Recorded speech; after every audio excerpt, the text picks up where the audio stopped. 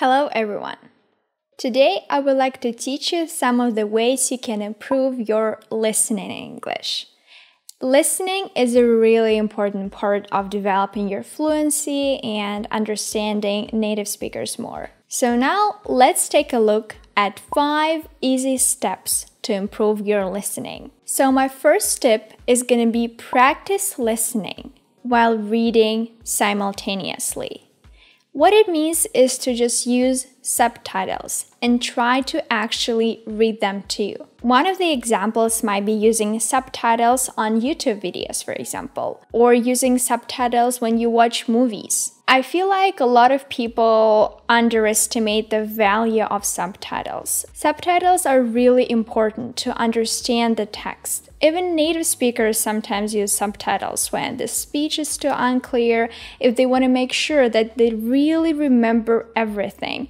I know a lot of native English speakers who use subtitles when they watch TV shows or movies in English. If you like listening to podcasts, you can always download the transcripts if they are available to your podcast and listen while reading simultaneously. If you like reading books, you can also listen to audiobooks. Again, simultaneously.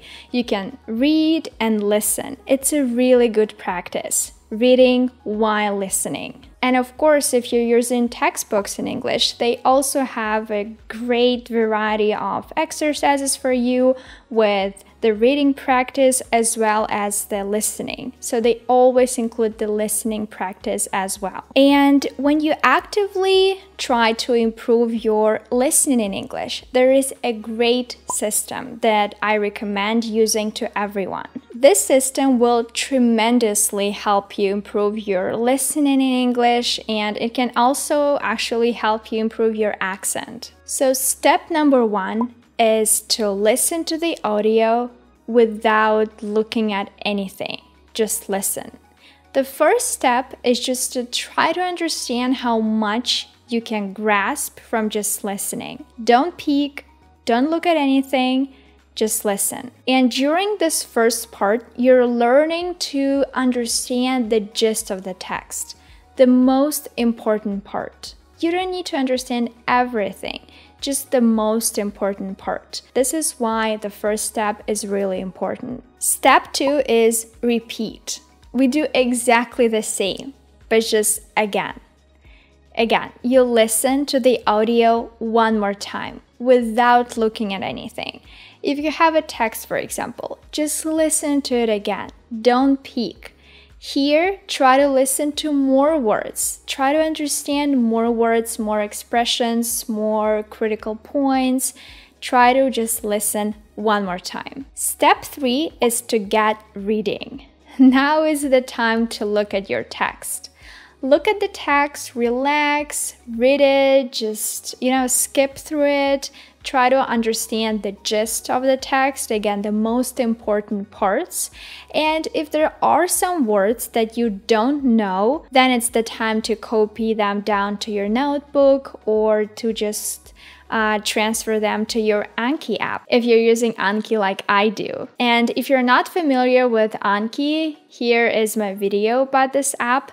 It's a great app, and I'm sure it will help you memorize the vocabulary in English faster. Step four is listening with the text. So now you're already super familiar with the text, you looked up all the words, all the expressions you're not familiar with, and now is the time to listen while you're looking at the text, while you're reading along. You can read out loud or it's not necessary to actually read out loud. It just depends on you again. Just listen and read at the same time. Finally, step number five is to listen again without looking at the text. So, this whole system is comprised of five steps. And the final step is to just listen again. And I'm sure by this time you're gonna understand the like 99% of the text is going to be so familiar to you right now, and you're just going to feel so confident, so happy that you understand so, so much. Try this and then leave the comments in the description if this method helped you. My tip number two is to listen to what you actually enjoy listening to. It seems like an obvious tip, but for me, for a long time, it wasn't that obvious. You know, a lot of people like listening to music, for example, but I personally don't really listen to music that much.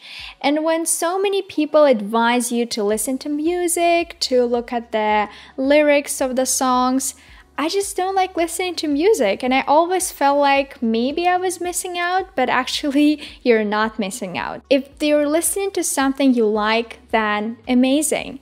I personally like listening to podcasts, and for me, this is my listening practice. I don't listen to music, but it's okay. My tip number three kind of contradicts my tip number four because it's about challenging yourself with something you're not quite familiar with. For example, I really like yoga for example. And I like listening to everything about yoga, you know, like reading books about yoga, things like that.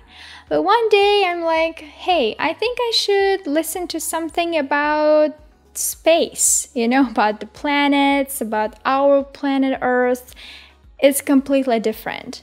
But again, I am interested in this. This is the most important thing. It can be different, you know, usually you like listening something about cars or about technology or about money, but just one day you decided to listen to something about food, for example.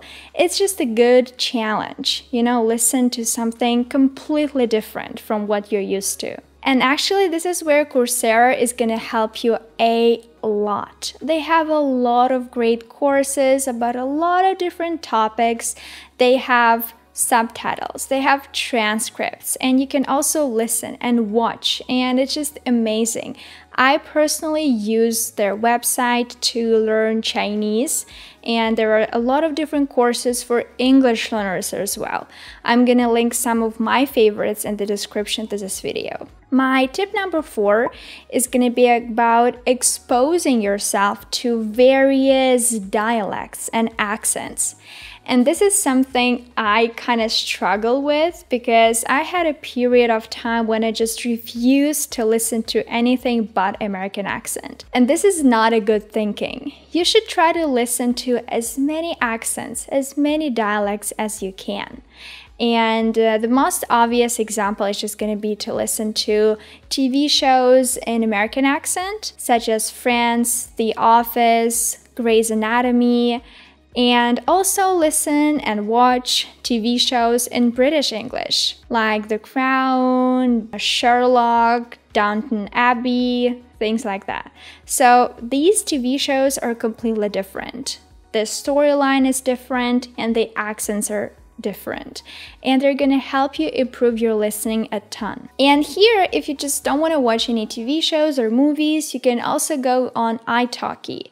There are a lot of great teachers from all over the world, and their accents are different, their dialects are different.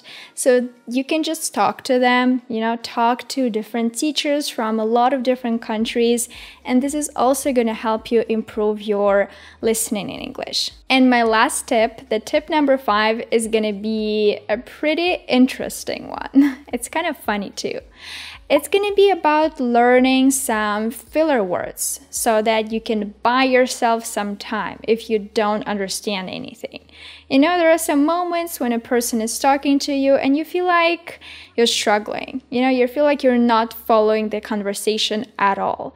And this is a good way to learn some filler words, or maybe you do understand something and you're just not sure, you need some time to think. So you can use these filler words. You can use I mean, actually, basically, like, okay, so. So I think that's all for today's video. These were all my tips on how you can improve your listening skills in English.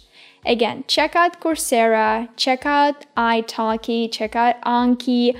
All of these resources are just a great start. And thanks for watching this video.